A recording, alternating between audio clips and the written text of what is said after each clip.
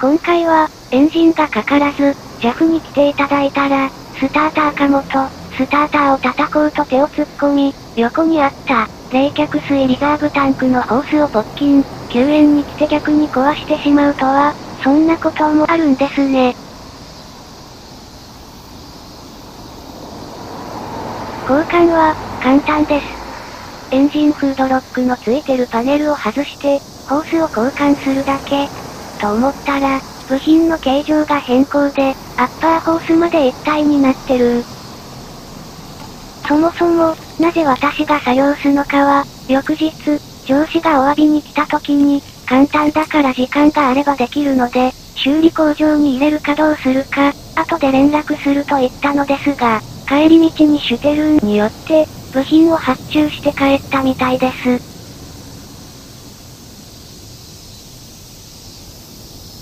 では、作業を続けます。エンジンフードカバーの手前を外します。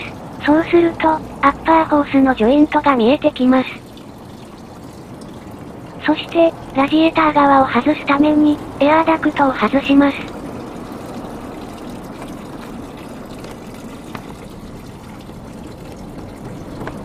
言い忘れました。ホースを外す前に、冷却水をこの真下にある、ドレーンから抜いておきます。隙間から冷却水が、見えるでしょう。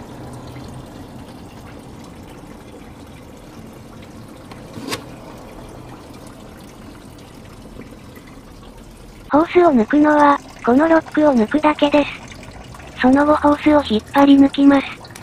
これがなかなか抜けないんだな。抜き方があるのか、専用工具があるのかは、わかりません。素人ですから。皆さん、見ていて、容量悪い、とか、こんなもん、簡単に抜けるだろう、とか、思ったでしょ。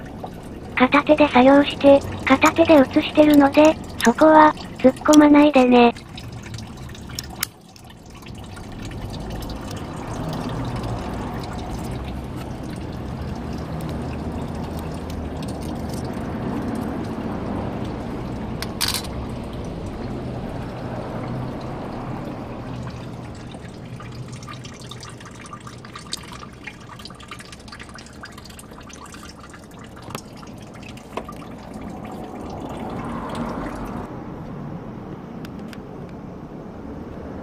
ここは、車の下に潜って、取れば簡単なのですが、潜りたくなかったのです。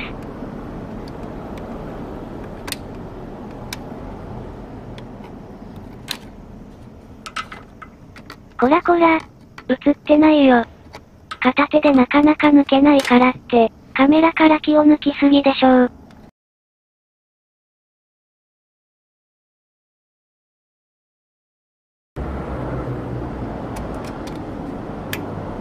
あ、抜けた。ここは、下に抜こうとして、落とし、どっかに行っては、困るので、ホース側にずらしました。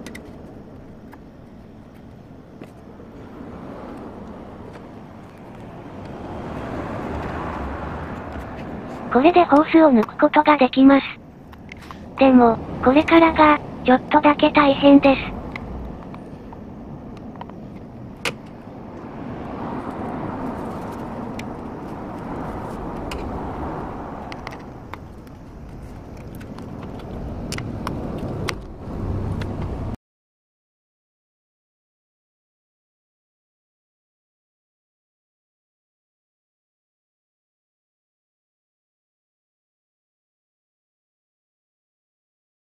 悪戦苦闘すること、5分、やっと抜けました。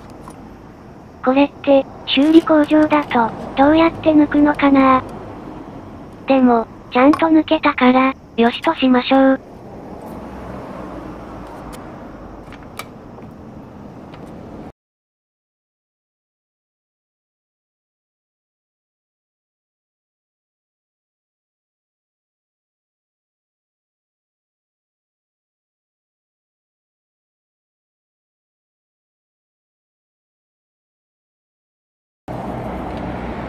ラジエーター側は、意外に早く抜けました。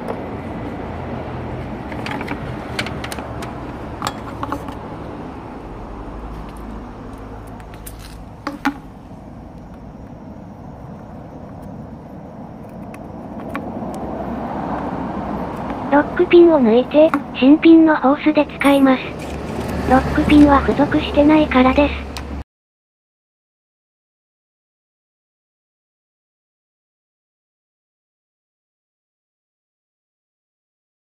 シュテルンさんって、お盆も営業してるし、部品も入るんですね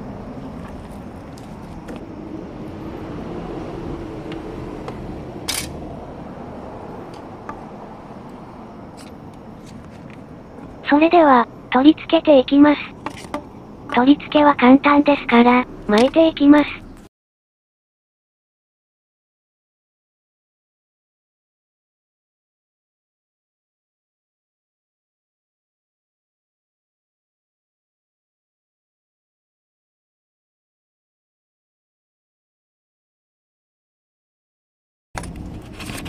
取り付けるとき、ここと、ここが、合うように、はめていきます。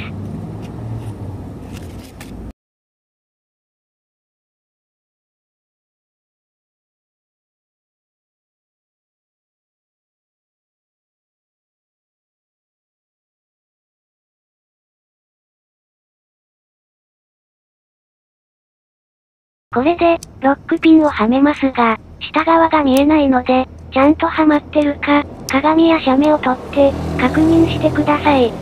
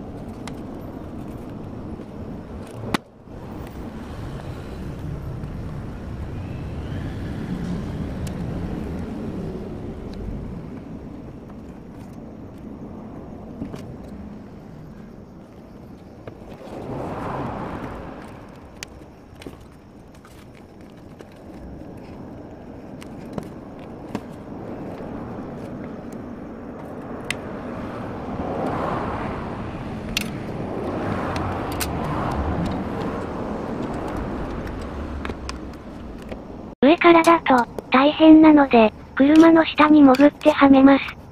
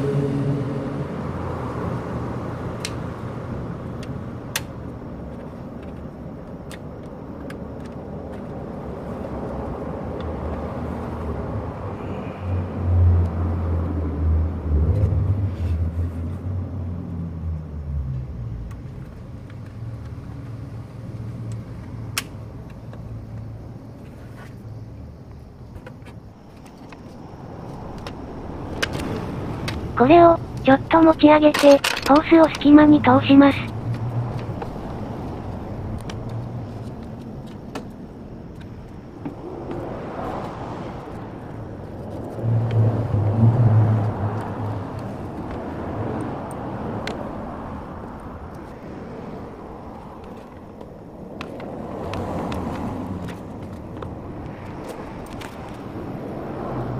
あ、残骸が、まだ残ってたやっぱり、片手ではとても辛いです。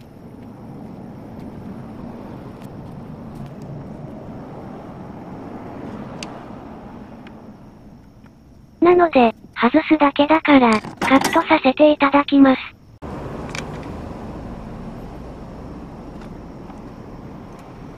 これも、ロックピンを入れるだけです。